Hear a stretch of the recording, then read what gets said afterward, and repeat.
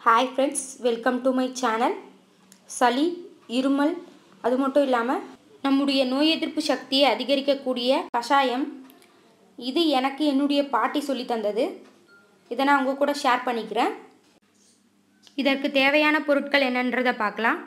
Of teaspoon மஞ்சள் தூள் of teaspoon ஜீரகம் பத்து மிளகு ஒரு ஏலக்காய் ஒரு வெற்றிலை இரண்டு கற்பூரவள்ளி இலைகள் பத்து துளசி இலைகள் இரண்டு பூண்டு ஆஃப் டீஸ்பூன் தனியா இரண்டு லவங்கம். நானூறு கிராம் அளவு தண்ணி எடுத்திருக்கேன். இது ரெண்டு பேருக்கு தேவையான அளவு. இப்போ நாம் கஷாயம் ரெடி பண்ணிடலாம். ஒரு பாத்திரத்தில் இப்போ தண்ணியை சூடு பண்ணிக்கலாம்.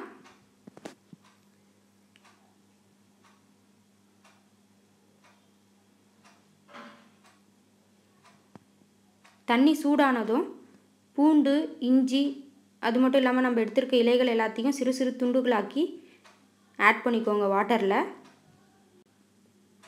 இப்போ எல்லாமே நம்ம ஆட் பண்ணியாச்சு.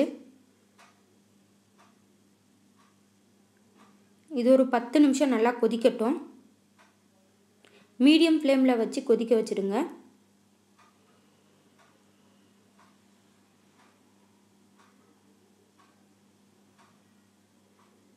நல்லா கொதிச்சிடுச்சு. இப்போ ஸ்டவ்வை ஆஃப் பண்ணிடலாம்.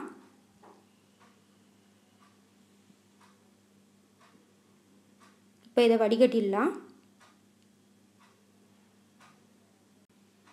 இது ஒரு சிறந்த நோய் எதிர்ப்பு சக்தியை அதிகரிக்கக்கூடிய கஷாயம். கஷாயம் ரெடி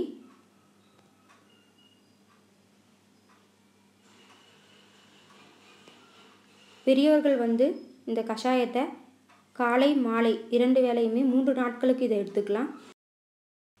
ஒரு வயதிற்கு மேல் இருக்கக்கூடிய குழந்தைகளுக்கு நீங்கள் ஒரு பாலாடை அளவு காலை மாலை இரு வேளையும் மூன்று நாட்களுக்கு கொடுக்கலாம். ஆறு மாதத்திற்கும் மேலே இருக்கக்கூடிய குழந்தைகளுக்கு அரை பாலாடை அளவு கொடுங்க. இந்த வீடியோ உங்களுக்கு பிடிச்சிருந்தா சப்ஸ்கிரைப் பண்ணுங்கள் இன்னும் நிறைய பயனுள்ள தகவல்களை நான் உங்களுக்கு வீடியோவில் பதிவு செய்யலான்னு இருக்கேன். Thank you for watching.